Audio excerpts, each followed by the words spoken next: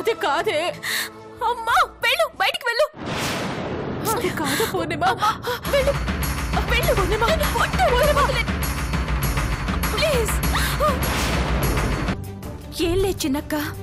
అక్కడున్నది మన క్రిష్ కాదు వేరే అతను.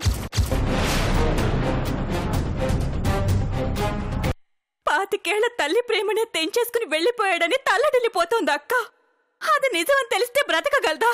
చెప్పండి బ్రతకగలదా?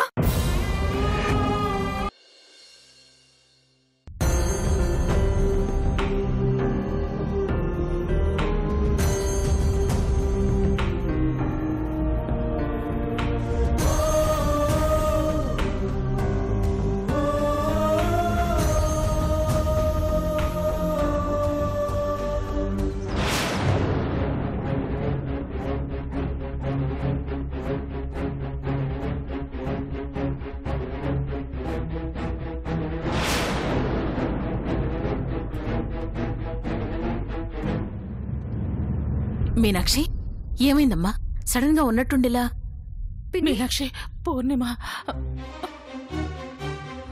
పూరే పూరే పూర్ణిమ పూర్ణిమ పూర్ణిమ పూర్ణిమ పూర్ణిమ డోర్ తీయమా పూర్ణిమ నేను మీనాక్షిని డోర్ తీయి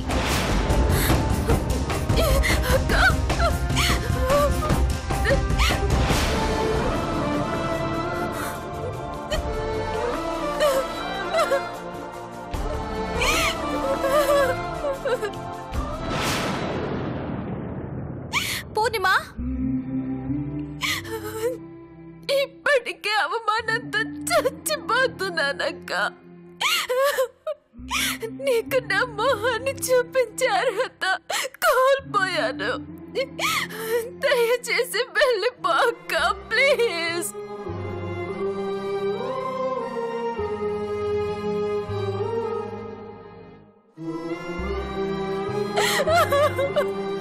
పూర్ణిమ ఏంటిది అర్థం లేకుండా? ఫస్ట్ డోర్ తీ. లేదక్కా. నువ్వు నా జీవితాన్ని కాపాడటం కోసం ఆరాట పడుతుంటే దాన్ని నేను అర్థం చేసుకోకుండా స్వార్థపరురాలివని నేను ఆనందంగా ఉంటే ఓర్చుకోలేకపోతున్నావని నోటికొచ్చినట్టు మాట్లాడాను.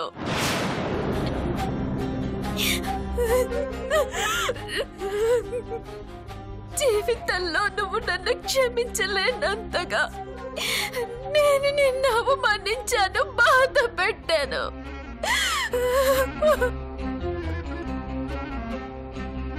నీ ముందు నిలబడే ధైర్యం కూడా నాకు లేదక్క లేదు.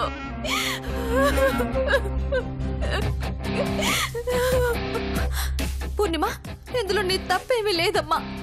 నీ బావ మీద నీకున్న ప్రేమని వాడు పావులా వాడుకున్నాడు.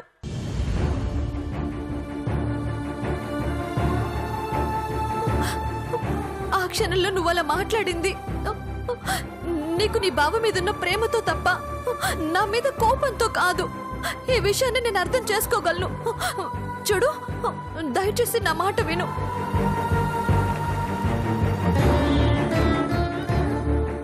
ఫస్ట్ డోర్ తీయమ్మా పూర్ణిమ ప్లీజ్ డోర్ తీయమ్మా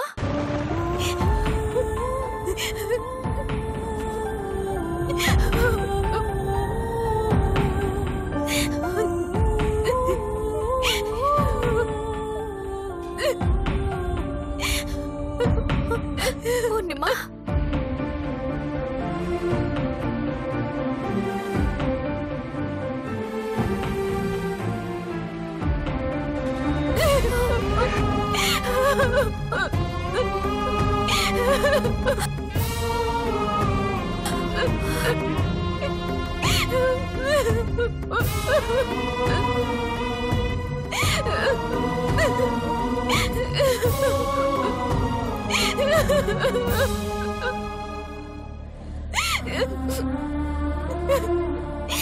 అక్క నీ విషయంలో నేను క్షమించరానంత తప్పు చేశాను.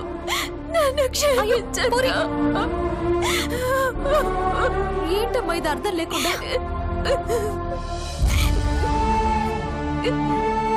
లేదక్క. మీ ఇద్దరిని కలపడం కోసం నేను అక్కడ ఉంటానని చెప్పాను. కానీ ఇప్పుడిప్పుడే కలవబోతున్న మీరిద్దరూ శాశ్వతంగా విడిపోవడానికి నేనే కారణమయ్యాను. నేనే కారణమైపోయాను.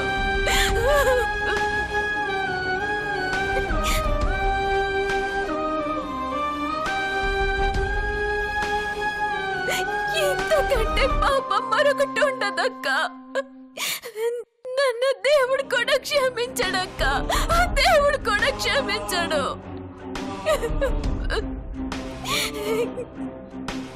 సీతారాములంటి జంటను విడగొట్టిన నేను. బతుకుండకూడదక్క. బతుకుండకూడదు.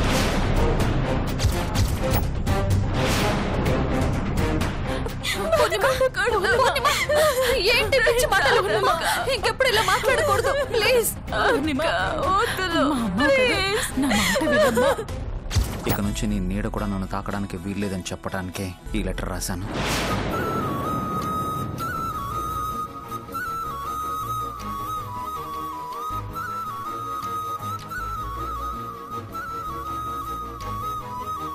ఆ స్వార్థం కోసం జీవితాన్ని పంచుకోవాలి అనుకుంటున్న వాడి జీవితాన్నే రోడ్డున పడేయడానికి కూడా వెనుకాడవనే నిజాన్ని తెలుసుకున్నాను.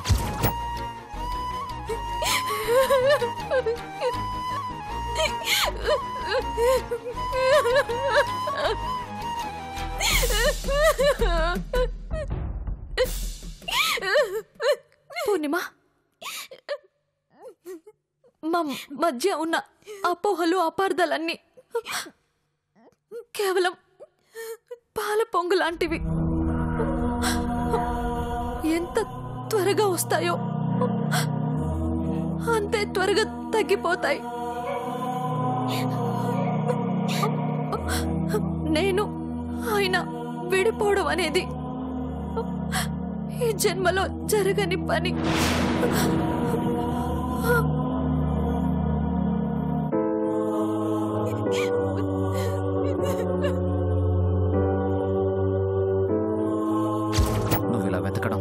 చివరిసారి కావాలి లేదంటే ఈ లోకం నుంచి నేను శాశ్వతంగా వెళ్ళిపోతాను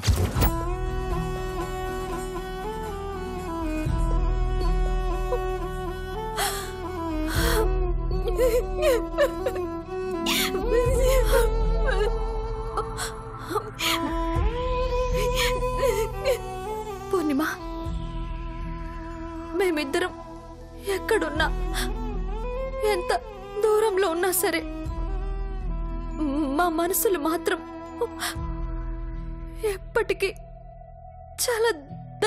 ఉంటాయి. అవి మమ్మల్ని కలపడం కోసం ప్ర- ప్రతి క్షణం ప్రయత్నిస్తూనే ఉంటాయి. ఉంటాయి.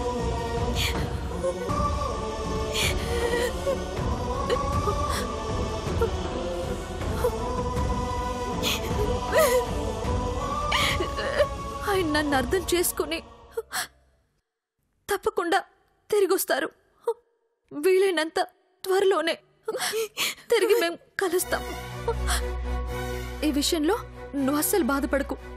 సరేనా? రా. పిన్ని భోజనం పెట్టండి. కూర్చో. కూర్చో.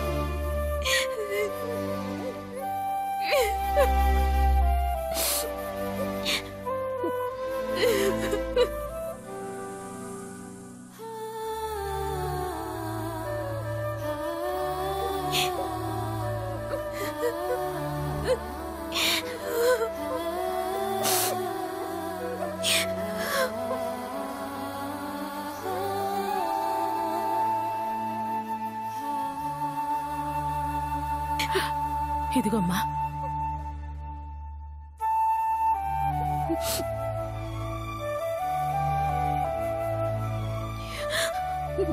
పూర్ణిమ తిను.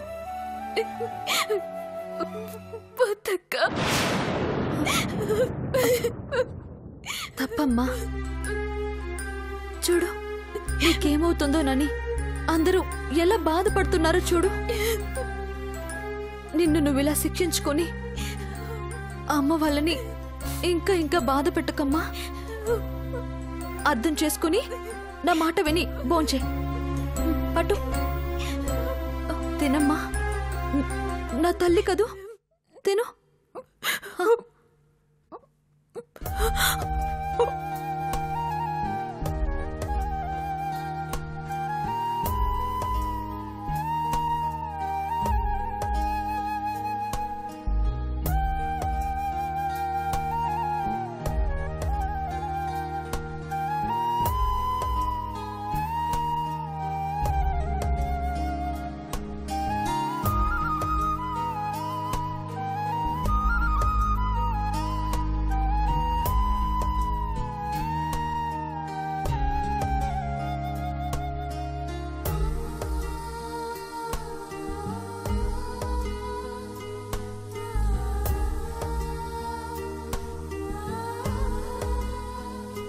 మేడం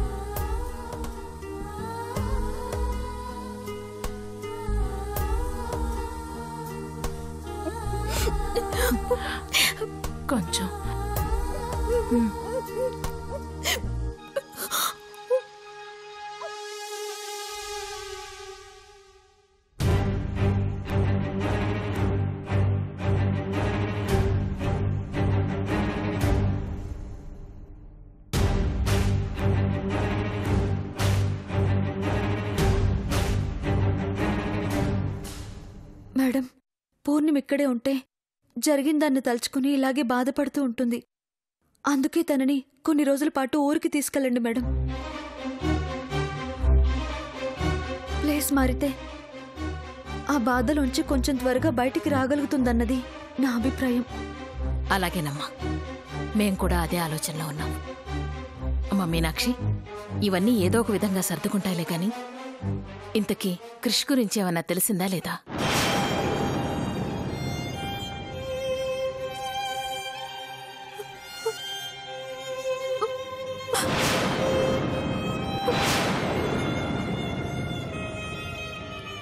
మీనాక్షి? ఏమైందమ్మా? అయినా? నా కుటుంబంతో నాకున్న అనుబంధాన్ని ఏ క్షణం అయితే నువ్వు తెంచేశావో ఆ క్షణమే నీకు నాకు ఉన్న బంధం కూడా తెగిపోయింది.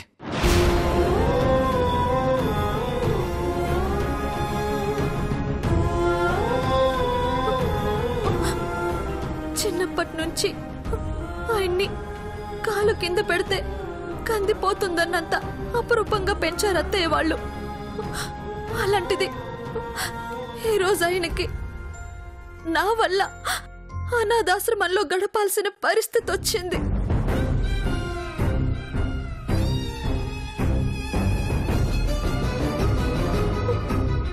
ఇప్పుడు ఎక్కడున్నారో ఎలాంటి పరిస్థితుల్లో ఉన్నారో అసలు తిన్నారో లేదోనని చాలా బాధగా ఉంది మేడం. చూడమ్మా మీనాక్షి. ఆ దేవుడు ఒక మనిషిని ఒక ప్లేస్ నుంచి మరొక ప్లేస్కి తీసుకెళ్తున్నాడంటే అక్కడ వాళ్ళ కోసం ఏదో ఒక ఆధారం రెడీ చేసి ఉంటాడని అర్థం.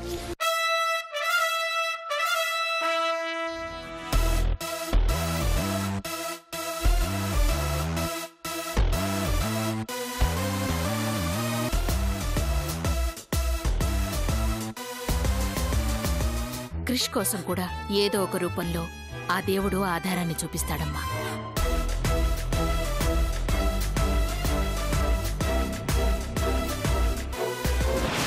అతను ఎక్కడున్నా క్షేమంగా ఉంటాడు.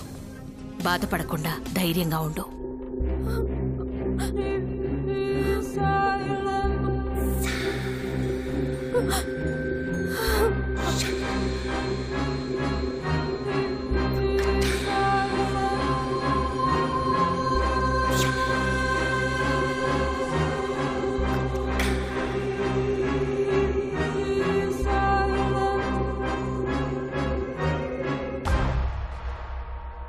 Sir sir. నన్ను నమ్మండి సార్. ఏ నమ్మకంతో నమ్మంటావయ్యా? నువ్వేమన్నా నా తమ్ముడివా బామర్దివా అలా అనకండి సార్. టైంకి మందులు ఇవ్వకపోతే మా అమ్మ చచ్చిపోతుంది సార్.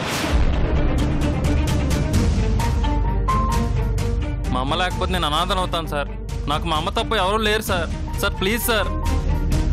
ఏంటయ్యా? నీకేమైతే నాకేంటయ్యా? వెళ్ళు. Sir sir sir. మా అమ్మ గుండె జబ్బు సార్. హాస్పిటల్లో ఉంది. అర్జెంటుగా ఇంజెక్షన్ చేయాలి సార్. కంగారులో పర్సుని హాస్పిటల్లో మర్చిపోయాను సార్. Please sir. మీకు దండం పెడతాను సార్. ఏమయ్యా ప్లీజ్ సార్. చెప్తుంటే అర్థం కావట్లేదా? Sir sir. దయచేసి అర్థం చేసుకోండి సార్. ఎన్నిసార్లు ప్లీజ్ సార్. చెప్పాలయ్యా? అర్థం సార్. కావట్లేదా? అర్జెంట్ అంటున్నాడు కదా. మెడిసిన్ ఇవ్వండి. సారీ అండి అరువు బేరం లేదు. ఇది బేరం కాదు సార్. ఒక మనిషి ప్రాణం. నాది వ్యాపారం సార్. దాన ధర్మాలు చేస్తానని నేను బయట బోర్డేం పెట్టుకోలేదు సార్. సాటి మనిషి అన్న కనికరం కూడా లేకుండా మాట్లాడుతున్నారేంటి. లేకపోతే వెయ్యి రూపాయల మెడిసిన్ని ఫ్రీగా పుణ్యానికి ఇమ్మంటావు నీకు? అంత జాలిదయ మీకుంటే ఆ డబ్బులు మీరివ్వండి.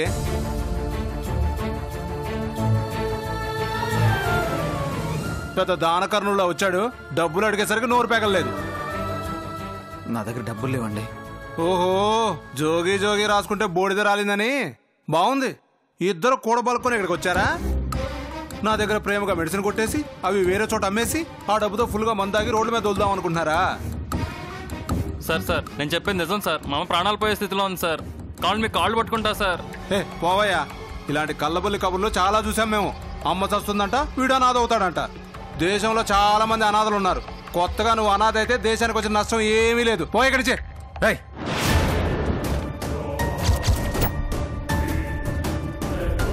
అనాథలంటే నీకు అంత చులకనా?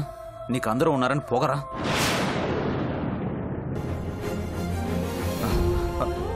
Sorry sorry. Sorry sir. Please sir. Please తనకి మెడిసిన్ ఇవ్వండి. సార్ సార్ మా అమ్మకి మందులు ఇచ్చి వెంటనే పర్స్ తీసుకొస్తాను సార్. మీ మనీ మీకు ఇస్తాను సార్. ప్లీజ్ సార్ నన్ను నమ్మండి సార్. ఏంటయ్యా? ఈ ఆవు పులి కదా నేను నమ్మాలా? అది కాదు సార్. అతను పర్స్ తీసుకొచ్చేంత వరకు నేను మీ దగ్గరే ఉంటాను. తనకు మెడిసిన్ ఇచ్చి పంపించండి. ఏంటి? నన్ను తనఖా పెట్టుకొని తనకు మెడిసిన్ ఇవ్వండి. తను తిరిగి వచ్చేంత వరకు నేను మీ దగ్గరే ఉంటాను.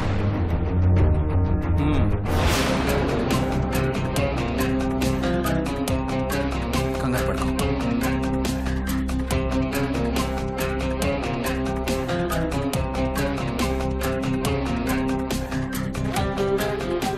sir thank you sir thank you sir thank you so much thank you so much sir వెంటనే వస్తాను సార్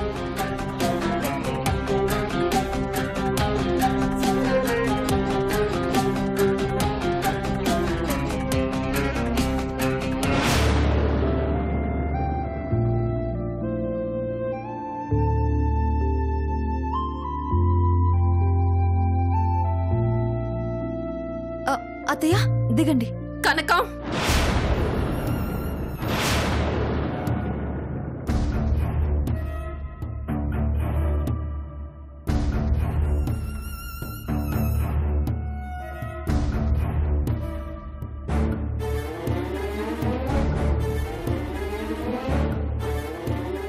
నేను బతికే ఉన్నాను. చచ్చిపోలేదు.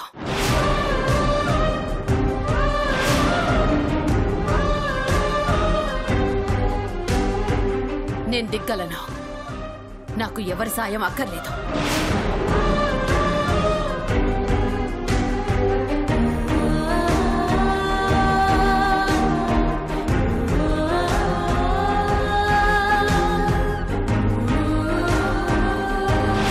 ఆ, కనకం!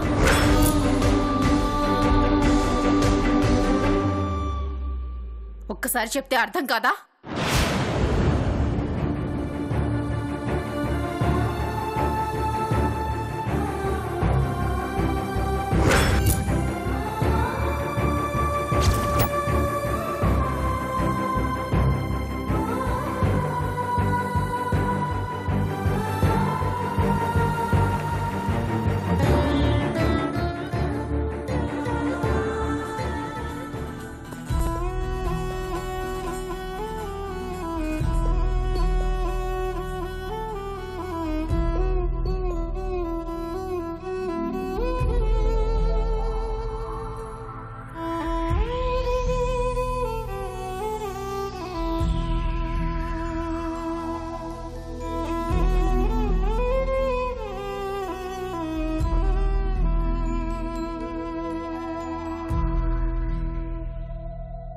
చిన్నమావయ్య నేను తీసుకెళ్తాను. వద్దమ్మా నీకెందుకు శ్రమ? నేను తీసుకెళ్ళగలను.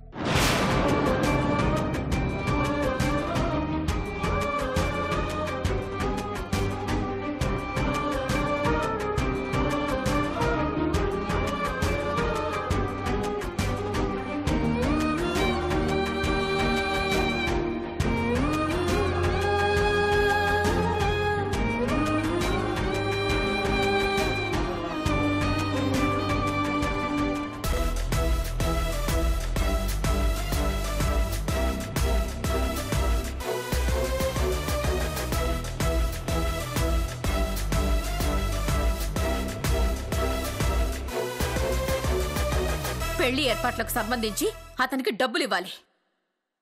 ఎవరు పడితే వాళ్ళు ఇస్తుంటే మీరేం చేస్తున్నారు? మనకి సంబంధించిన డబ్బుల్ని వేరే ఎవరో ఇవ్వడం ఏంటి?